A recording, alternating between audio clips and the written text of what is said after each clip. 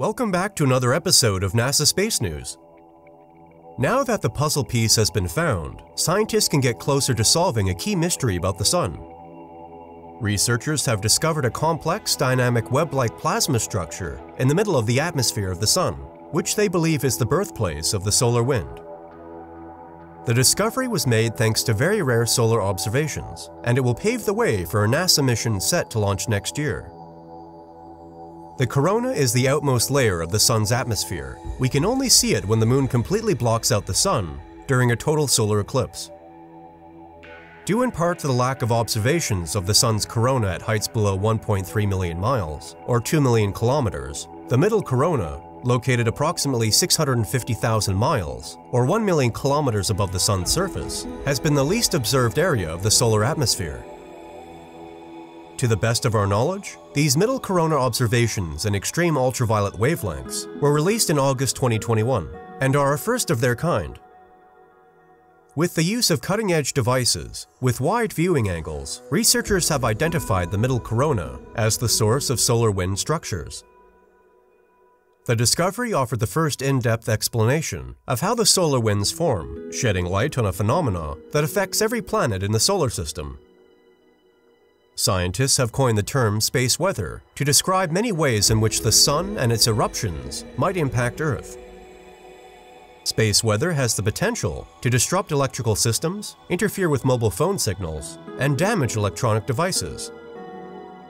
Although scientists have a general idea of how solar winds and other space weather are released, they still lack a solid grasp on the precise processes responsible for doing so. Recently, however, fresh observations and information from more space probes and computer simulations have shown a complex plasma network in the middle corona.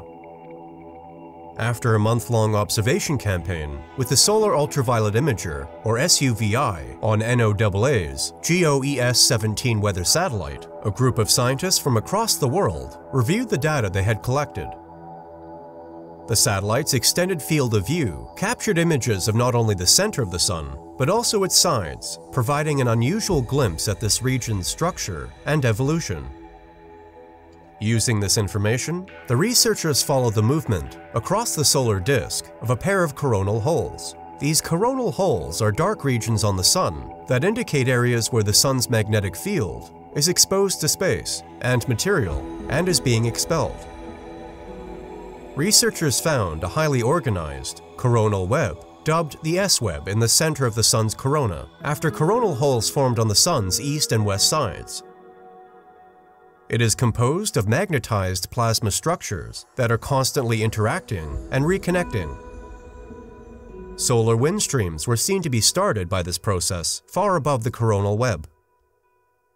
Results from this research may be applicable to the launch of the polarimeter to unify the corona and heliosphere, or PUNCH, a NASA mission scheduled for 2023. The purpose of this two-year mission is to learn more about how the Sun's corona creates solar wind by taking three-dimensional images of the Sun's outer corona and the solar system's closest area. That's all for now. Make sure you don't miss any updates by subscribing to the channel. Also, if you enjoyed this video, consider checking out our previous videos. And for up-to-the-minute updates, visit our website at www.nasaspacenews.com. Thanks for watching.